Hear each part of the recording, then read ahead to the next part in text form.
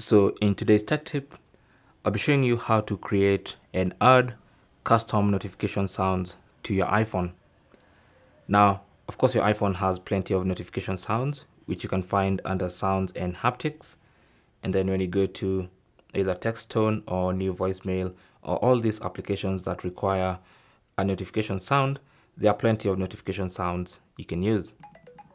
All those. But let's say you want your own custom notification sound. Well, the first thing you have to do is make sure you have that file on your phone, normally as an MP3 file or any audio file. Okay.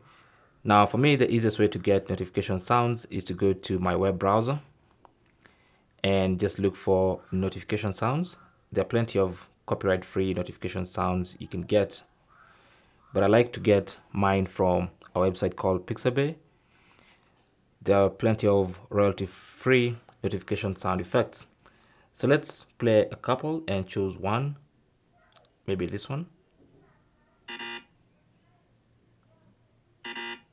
That's a good one. So let's go ahead and download that one. So it says uh, it's called error. Let's go ahead and download that.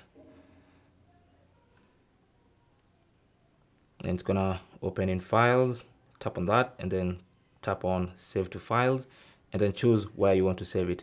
So let's rename it so that we don't cause any confusion. Let's call it error notification sound. And then tap on save. So that file is now downloaded onto our phone. And when you go to files you can actually confirm it's there. Now the next thing you want to do is use or download if you haven't already an app called GarageBand. Now this app is free on the Apple App Store. So you want to go to the Apple App Store and install GarageBand. So let's let me show you the app. So on the Apple App Store, just go to search, search for GarageBand. And there's the application. It's free to install for everyone. It's by Apple, okay? Now, since I've already installed on my iPhone, I'm just gonna go ahead and launch it. And this app only works in landscape mode. Now, this is a previous project I was working on. So let me just uh, exit that completely and start afresh so when you launch GarageBand, GarageBand, this is what you're going to see. So what you want to do is go to audio recorder. And this is the screen you're going to see. Tap on the third icon. So one, two, three, this one right here. So tap on that. And that's going to open a timeline. Let's go ahead and remove this one from the timeline. Just double tap and delete. And then let's go ahead and add our audio file into the timeline of GarageBand. So for that one, tap on this loop icon here, this one in the middle, just tap on that, and that takes you to files. So just tap on files once again, and from the files, you can just browse or go to shared folders or recents and find your notification sound. So here's ours called error notification. Select it. It's going to be added. There you go. Once it's added, you want to long press on it and it's going to be added to the timeline and now you can drag it to the top of the timeline. So let's go ahead and play it quickly.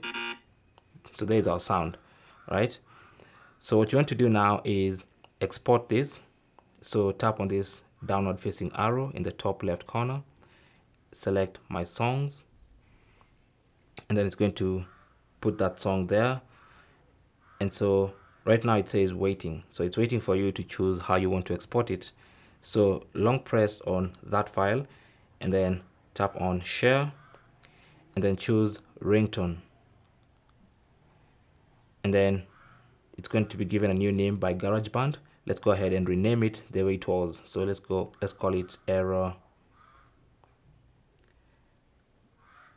notification. There you go. Tap on done.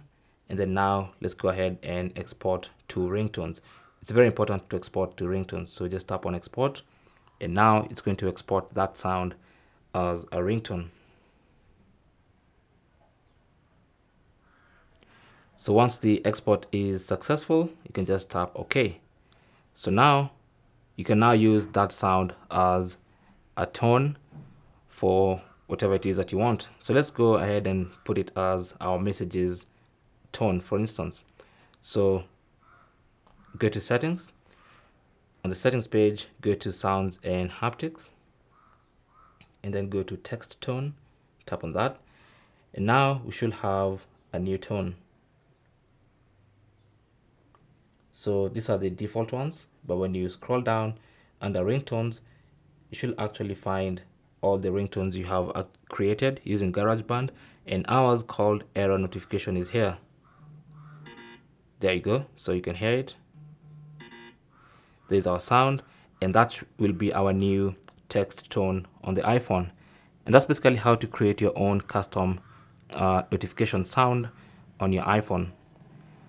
Thanks for watching and good luck